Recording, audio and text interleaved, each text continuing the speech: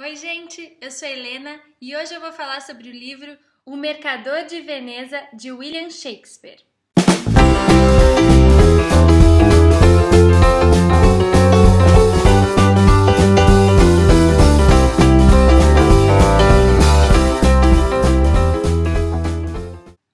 Eu baixei esse livro no Kindle porque ele estava de graça na Amazon então eu aproveitei a chance, conheço as histórias do Shakespeare, mas ler mesmo só tinha lido Romeu e Julieta, então aproveitei a oportunidade para conhecer essa outra obra. O Mercador de Veneza foi escrito por volta de 1596, então imaginem a linguagem da história é uma linguagem bem antiga, um pouco complicada até de entender em algumas partes, pelo menos nessa edição aqui que eu baixei. A história acontece em Veneza e fala sobre um personagem chamado Bassânio, tem vários nomes estranhos na história.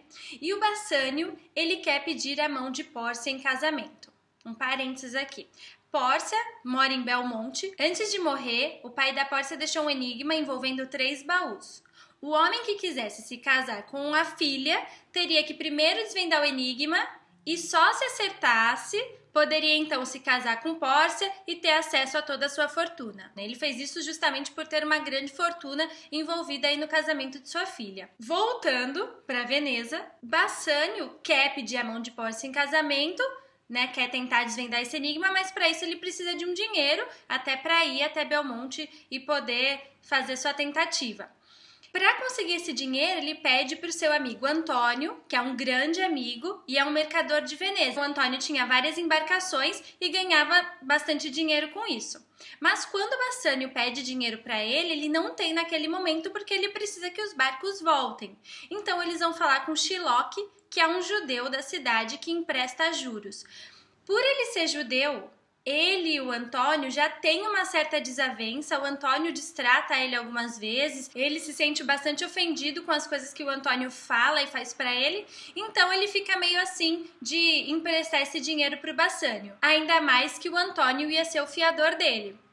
Aproveitando essa oportunidade, Shylock então combina o seguinte: eu empresto dinheiro 3 mil ducados, com a condição de que, se esse dinheiro não voltar até o dia combinado, ele poderia cortar uma libra da carne do Antônio do lugar de onde ele quisesse. Eles topam isso, fazem o acordo lá, assinam e fica esse combinado entre eles. O Bassânio consegue dinheiro e vai para Belmonte tentar desvendar aquele enigma para poder se casar com Pórcia.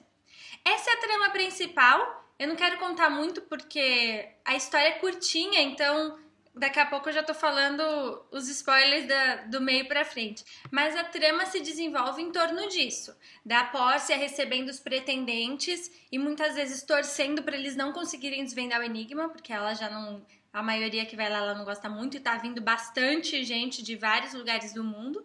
O Bassânio indo até lá e tentando desvendar o enigma para ficar com a Pórcia. A desavença em volta do Shiloh, que é um judeu. E esse trato, esse empréstimo feito entre o Bassani e o Shiloh, que o, o prejudicado aí seria o Antônio, na verdade. Então, esse desenvolver para saber se eles vão conseguir pagar essa dívida ou se o Shiloh vai conseguir realmente uma libra da carne do Antônio, que consequentemente é a vida do Antônio, porque ele ia. Essa era a intenção dele. O livro, eu confesso que vários momentos eu pensei em parar porque essa edição que eu li, pelo menos, a linguagem estava muito complicada, tinha parágrafo que eu nem conseguia entender direito o que eles estavam querendo dizer.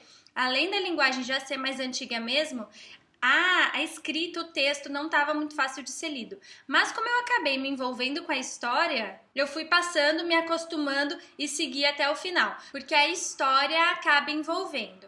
É um texto teatral, né? Então tem todas as características próprias desse tipo de texto. Tem um sarcasmo por trás do texto bem legal. Tanto, eu vou deixar aqui embaixo o link para o trailer do filme. Eu não assisti o filme ainda, mas o trailer tem muito a ver, tá bem coerente com, com o texto. Mas eu senti o trailer um pouco mais sombrio assim do que quando eu li a história. Quando eu li o texto, para mim ele não foi uma história pesada. Pelo contrário, eu senti uma história muito com um humor bem sarcástico assim, as coisas que ele ia falando, as críticas que ele ia fazendo que vão acabam envolvendo a gente para para a gente percebendo essas nuances que ele foi colocando no texto. Tem a parte realmente do do embate ali do cristão com o judeu. Então, em alguns momentos, o judeu fala: não é porque eu sou judeu que eu não sou uma pessoa igual a vocês, que eu não tenho as mesmas. que eu não faço as mesmas coisas que vocês, mas, por outro lado, ele também tem esse lado mesquinho, né? Esse lado de, de querer prejudicar aí a vida do Antônio por conta de desavenças aparentemente sem tanta importância. Então ele mostra um pouco do lado dos dois aí na história. E apesar de algumas partes da história ser um pouco previsíveis, né? Você já imagina meio que vai acontecer e algumas coisas realmente acontecem, outras são bem surpreendentes, que eu realmente não esperava o jeito que se desenvolveu a história em determinadas partes. É isso, gente. Eu vou deixar aqui embaixo o link para o meu blog, Lá tem alguns links também para compra do livro para quem se interessar. Vou deixar o link do trailer do filme para quem quiser dar uma olhadinha. E se gostou, não esquece de curtir, compartilhar e se inscrever no canal. Até mais!